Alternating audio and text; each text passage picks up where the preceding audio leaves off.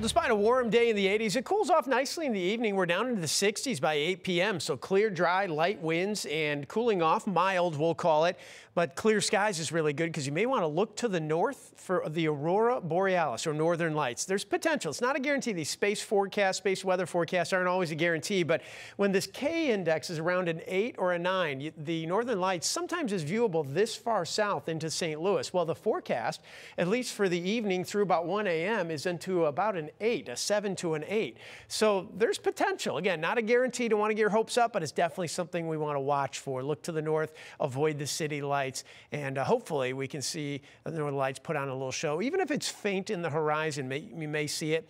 And then you can use a camera because the camera lens can absorb more light. It tends to see more of the bright uh, lights and the vibrancy of the lights. It's not as good, though, Friday night and Saturday night of a chance. We do have clear skies, though, throughout the night, and that means sunshine in the morning. 56 degrees is what we'll wake up to.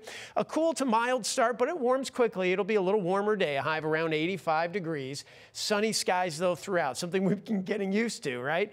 A 5 to 10 mile an hour breeze out of the southwest. We're at 82 at 5 o'clock still and into the mid 70s for a nice mild Friday night with clear skies. Good for Friday night football. It gets warmer Saturday near the record high of 89, 88 for the high. Not too humid, partly to mostly sunny. We'll see a few clouds. Sunday cooler and breezy, but a high of 77 is really nice.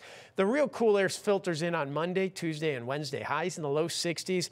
Lows dipping down to near 40 degrees. Even some outlying areas dip into the 30s, especially by Wednesday morning. Might even see some patchy frost at that point. But temperatures rebound. We're back into the 70s Thursday, Friday, and into Saturday of the following weekend.